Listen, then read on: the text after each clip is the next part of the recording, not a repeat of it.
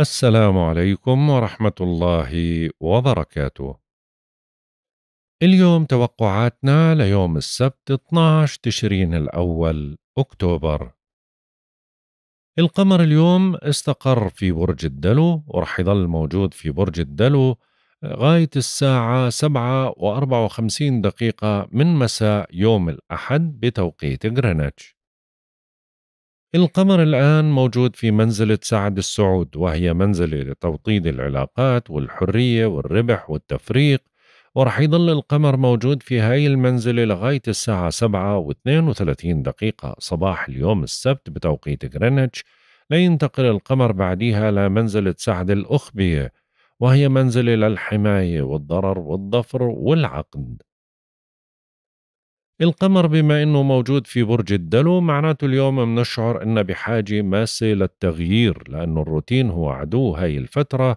يجب أن نستغل هاي الفترة بالعلاقات الاجتماعية وتعزيزها والاستفادة منها ومنود الانضمام لنادي أو مجموعة من الأصدقاء أو تجربة طريقة جديدة للحياة.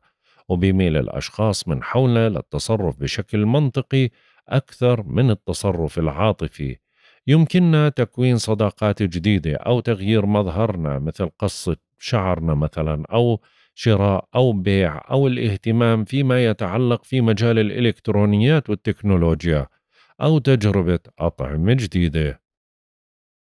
بالنسبة للزوايا الفلكية طبعا اليوم ما في زوايا فلكية مع القمر ولكن في زوايا منفصلة ما بين الكواكب الأخرى بالنسبة للأعضاء اللي في جسمنا اللي الأكثر حساسية واللي لازم إذا شعرنا بأي شيء غير اعتياد نراجع طبيبنا وما لازم نعمل عمليات جراحية كبرى لإلها بطة الساق الكاحل والساق وتر العرقوب عضلات الساعد وهرمونات الغدة الدرقية. بالنسبة لباقي أعضاء الجسم طبعا ما في أي مشاكل لإجراء العمليات الجراحية خلال هذا اليوم. هذا اليوم مناسب لعمليات التجميل مثل الحقن والجراحة. آه، لا يصلح لإزالة الشعر الزائد يصلح لقص الشعر التجميلي ويصلح للصبغ والحنة ويصلح أيضا للقص العلاجي. القمر بما أنه موجود في برج الدلو خلو المسار القادم رح يكون غدا الأحد بيبدأ الساعة 2 وعشر دقائق عصرا بتوقيت غرينتش. وبيستمر حتى تمام الساعة 7 و54 دقيقة مساء بتوقيت غرينتش. أما بالنسبة لعمر القمر عمر القمر انحسار المحدب عمره 10 أيام الآن الساعة 12 و10 دقائق ظهرا بيبدأ اليوم ال 11 آه، نسبة الإضاءة 72% أما بالنسبة لمزاج الكواكب وطباع الكواكب لهذا اليوم.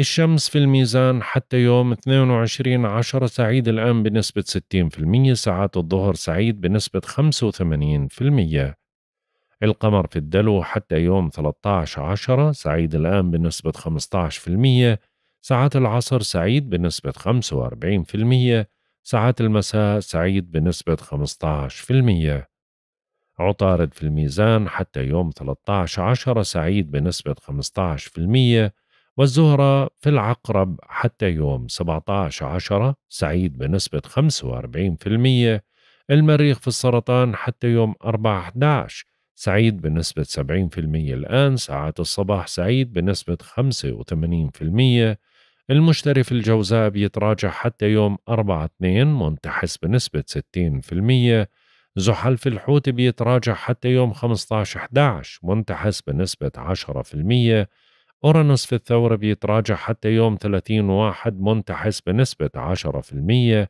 ونبتون في الحوت بيتراجع حتى يوم 7 12 منتحس بنسبة 10% وبلوتو في الجدي بيتراجع حتى يوم 12 10 منتحس بنسبة 10% وصلنا للتوقعات اليومية. برج الحمل. بالنسبة لمواليد برج الحمل طبعا اليوم بتنشطوا اجتماعيا وبتسعدوا من لقاء الأصدقاء ومنكم أشخاص ممكن يتلقوا دعوة لحضور حفلة أو مناسبة سعيدة. الأجواء داعمة وبناسبك العمل ضمن مجموعة وممكن تخوض مجالات عديدة ومتنوعة. أهم شيء إنك تنظم جدول أعمالك تحسبا لضيق الوقت.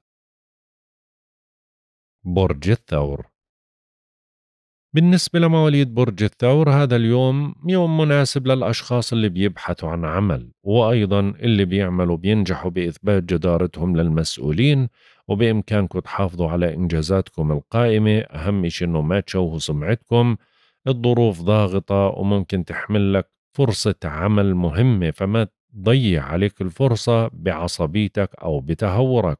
كن متنبه لكل شيء وما تترك الطيش والسهو يتسببوا بأخطاء لا تغتفر. برج الجوزاء.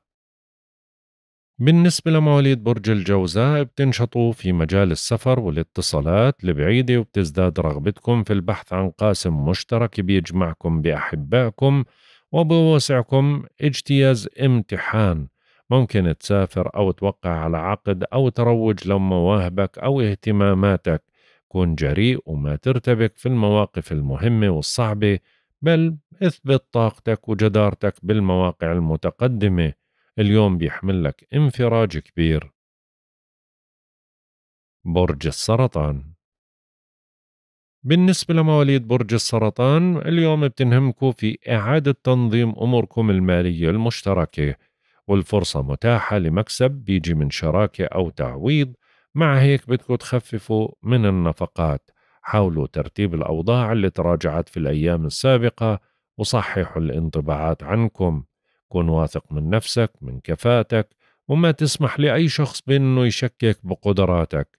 اليوم ممكن تنشغل بملف أو معاملة إدارية. برج الأسد بالنسبة لمواليد برج الأسد بيركز اهتمامكم اليوم حول موضوع الشراكة سواء الشراكة المالية أو العاطفية.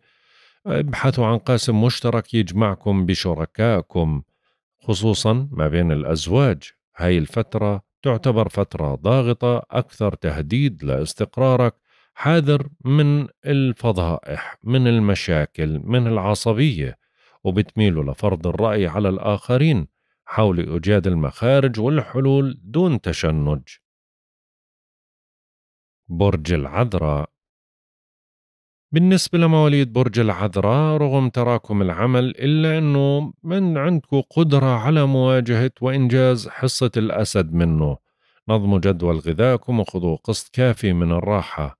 بتلازمك الواجبات وبترافقك مشاعر مختلفة معظمها فيها نوع من أنواع القلق نظم وقتك بشكل جيد تفادي لأي تقصير أو تأخير ولا تهمل صحتك ولا الواجبات اتجاه الأحبة. برج الميزان.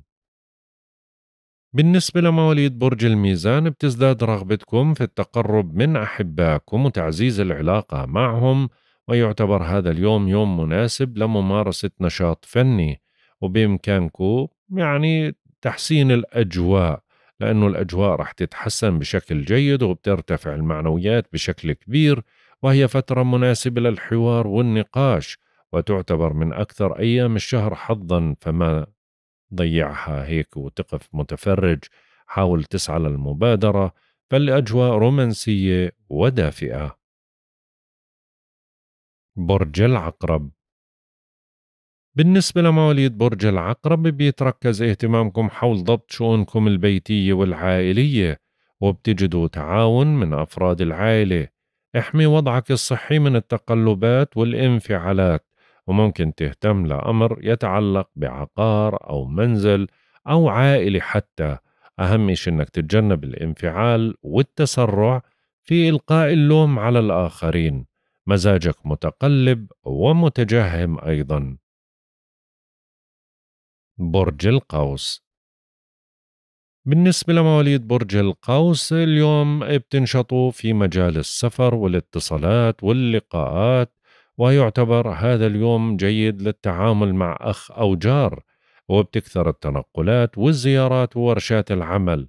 لحسن الحظ أنت اليوم بتتمتع بسرعة بديهة عالية جدا وقدرة على الكلام والإقناع. أهم إشي أنك تسيطر على انفعالاتك. بعضكم ممكن يضطر لتقديم مساعدة لأحد, لأحد الأخوة. برج الجدي. بالنسبة لمواليد برج الجدي اليوم بيحمل لكم فرصة لمكسب. هذا المكسب عادة بيجي من عمل إضافي. مع هيك بدكم تكونوا حذرين في أي خطوة مالية جديدة. خففوا من النفقات. ممكن اليوم تقدم على إنجاز أو تناقش صفقة أو اتفاقية.